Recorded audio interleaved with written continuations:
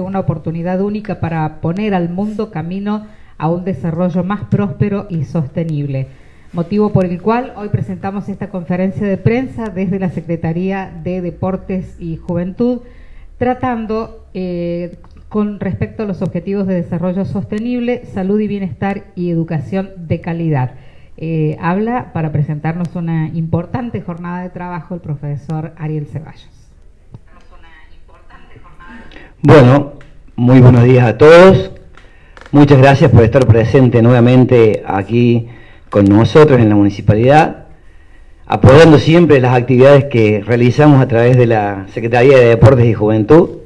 En este caso, como dijo Sandra, enmarcada dentro de la Agenda 2030, vamos a presentar nuestros proyectos eh, referidos a lo que es capacitación dentro de los ejes que nosotros tenemos en, esta, este, este año.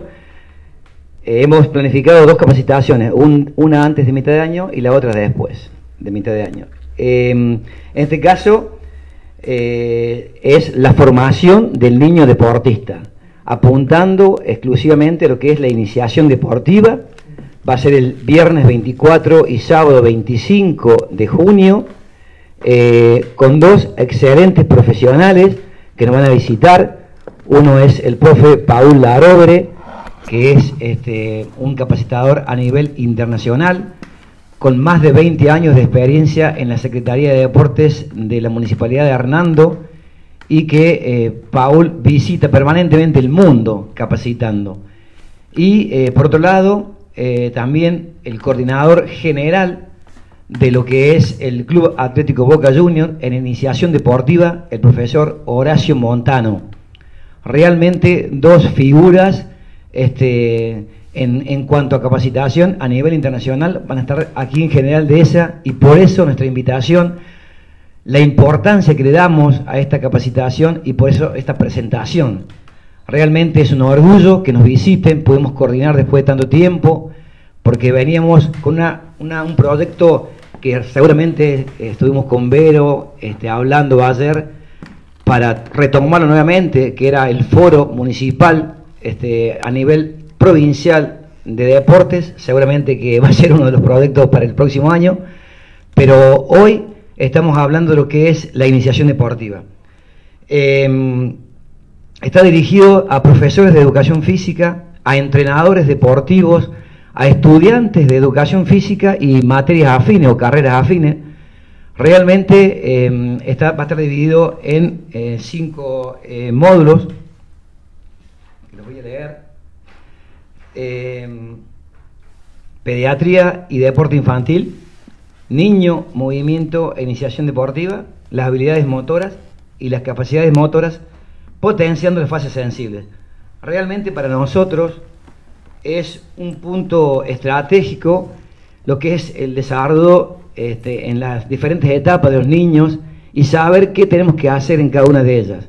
Por eso es tan importante esta capacitación. Em, con Paul lo venimos hablando hace mucho tiempo, varios años, y realmente hoy nos sentimos orgullosos de que lo vamos a tener aquí en General de eso. Eh, un poco voy a explicar cómo va a ser la modalidad. El día viernes 24 este, vamos a hacer un, un pequeño acto en el auditorio de la cooperativa eléctrica y durante toda la mañana se va a desarrollar la parte teórica. De ahí los vamos a dirigir la tarde al Club Acción Juvenil, donde estaremos haciendo la parte teórica práctica también, en el salón, en el Zoom, y el día sábado también en el Club Acción Juvenil. De paso agradecemos a la Cooperativa Eléctrica y al Club Acción Juvenil y a todas las instituciones que siempre están colaborando con la Secretaría de Deporte y Juventud y por supuesto también con las diferentes áreas de la municipalidad. Sí. Bien, muy importante la, pregunta. Es un curso presencial y gratuito.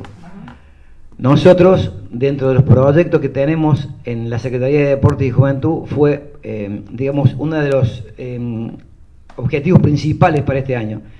Y eh, estaría también dentro de estos presupuestos que hemos pedido para el año 2022. Por eso el esfuerzo y el sacrificio para que nuestra gente de General de la región, de la provincia, y aún también gente de provincias vecinas nos están llamando y preguntando si pueden venir, porque es un curso presencial, después de dos años que tuvimos sin hacer nada prácticamente presencial, y eh, gratuito. ¿eh? es gratuito. Pensamos que es la forma de poder hacerlo para que todo el mundo lo, lo, pueda realizar. Eh, teniendo en cuenta también digamos, la, época que estamos viviendo, es un gran esfuerzo que hacemos a través de la Secretaría de Deportes y Juventud. ¿Las inscripciones? Las inscripciones van a ser a través del teléfono de nuestra directora eh, Verónica Faucher, eh, en su teléfono particular, de 9 a 13 horas, de lunes a viernes en la, en la municipalidad, a partir de hoy ya se puede empezar a inscribir, y es muy importante la inscripción, porque si bien no tenemos cupos, tenemos espacio en, el, auditorio y en el club para albergar a 180 personas. Entonces por ahí es muy importante que comiencen ya a inscribirse para no quedar afuera de este proyecto tan lindo, que nos vamos a, beneficiar en primer lugar todos los profes y en segundo lugar nuestros niños, que son los que vamos a transmitir después las experiencias que podemos adquirir en, esta capacitación. Va a, ser, va a haber un certificado este, a través de, lo que es la, Secretaría de Deportes de la, Municipalidad, pero no tiene puntaje porque eh, nosotros lo hemos decidido de esa manera. ¿Y cuántos niños esperan para estos días? No, es para profes. Para profes. Eh, profe. Y nosotros eh, cuando hicimos la capacitación de, de Salorio, aproximadamente fueron 60, 70 profesores que estuvieron participando y la idea es que, lo podemos aprovechar mucho más.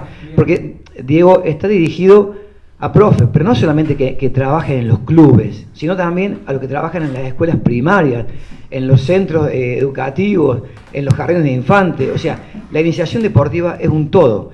Creemos nosotros que deberíamos todos pasar por una iniciación deportiva, porque después de ahí el niño este, puede ir dirigido a cualquier deporte. las personas que desde chico tenemos iniciación deportiva, después tienen la habilidad o la capacidad para poder este, desempeñarte en cualquier deporte, en el básquet, en el vóley, en el fútbol, en el atletismo, en lo que sea. Entonces es muy importante. Eh, podemos repetir, está dirigido para todo el mundo. Profes, entrenadores, estudiantes. Eh, también por ahí eh, hay gente que está trabajando en, a ver, con actividades recreativas y deportivas en niños, en comedores escolares, eh, en algunos merenderos, también es importante que ellos puedan saber qué es lo que yo puedo hacer cuando el niño tiene 4 años, cuando tiene 6, cuando tiene 7, cuando tiene 9, cuando tiene 12. Saber que lo que estoy haciendo o la carga que le estoy dando en una determinada actividad no lo voy a perjudicar en su desarrollo evolutivo normal.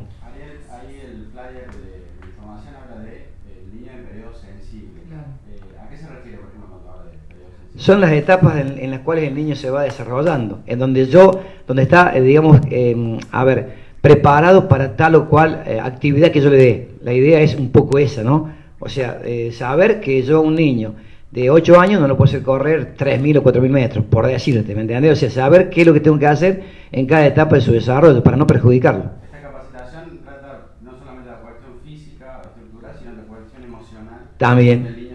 Sí, señor. Es la etapa de desarrollo de los niños. Es, esa es un poco la idea, saber eh, que lo que hacemos lo hacemos bien como corresponde.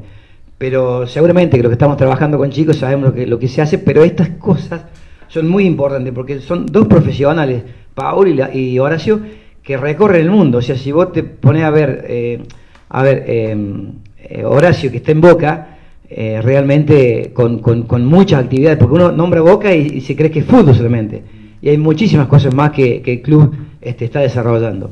Entonces es, importante que podamos asistir, son dos días, este, sería lo ideal, le hemos pedido a, diferentes municipios y centros educativos o centros deportivos que por favor ese fin de semana traten de no tener actividad para que los profes puedan venir a, desarrollar acá este, este curso, a poder aprender, digamos. Así es, Andrea, vamos a salir con Vero y con Vane, si hace falta, a, salir a recorrer eh, los municipios de la región.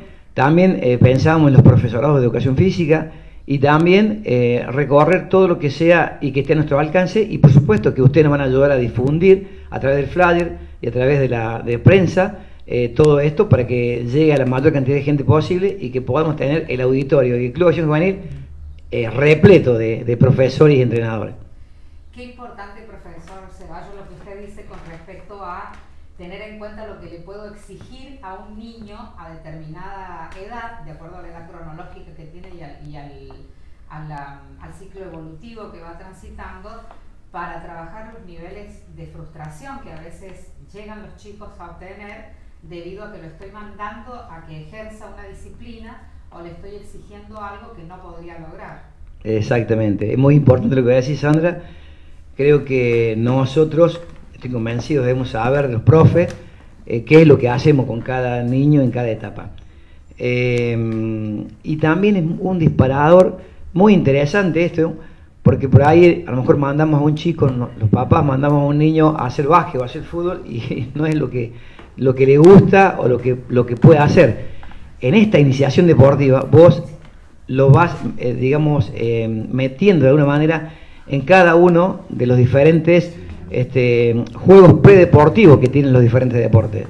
Eh, entonces, de esta manera el niño aprende a elegir solo lo que le gusta y entonces después puede decir, quiero ir a básquet, quiero ir a voleibol, quiero ir a fútbol, o, voy a hacer, no sé, bicicross.